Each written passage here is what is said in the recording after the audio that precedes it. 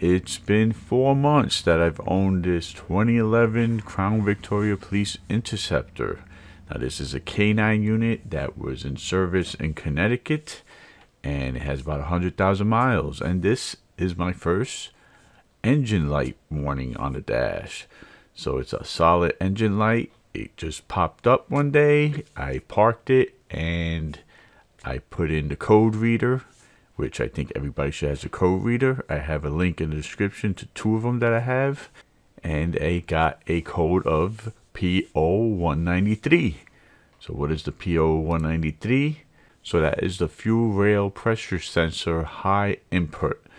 Basically, the code reader explains that it could be several things. Uh, it could be too high of a pressure in the fuel rail. That could be a faulty sensor, it could be a pump, it could be all this stuff. There's videos on how to diagnose it, and but I'm gonna just assume that it's old, looks old, never been changed. So I'm just gonna change out the part, hoping that fixes it.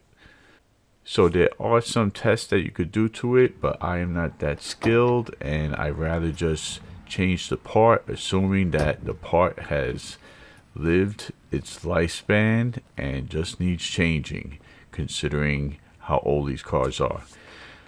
So let's get in here, pop the hood, and I'll show you the location of it. Pretty easy to find and pretty easy to work on.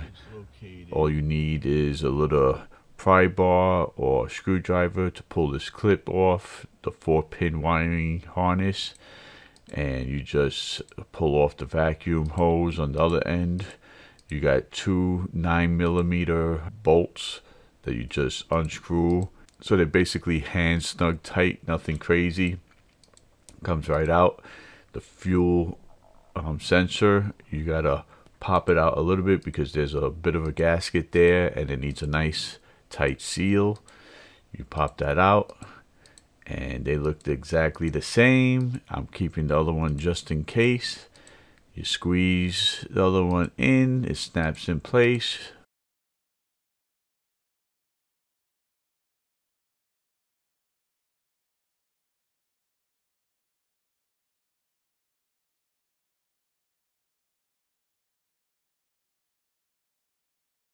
Tighten up the screws hand tight 10 millimeter and you put in the plug and the vacuum hose and hopefully this solves the problem.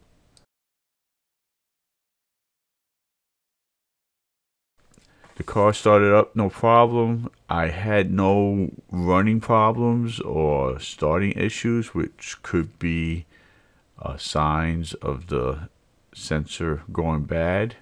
It just really happened quick, and I just replaced it quick before all that nonsense started.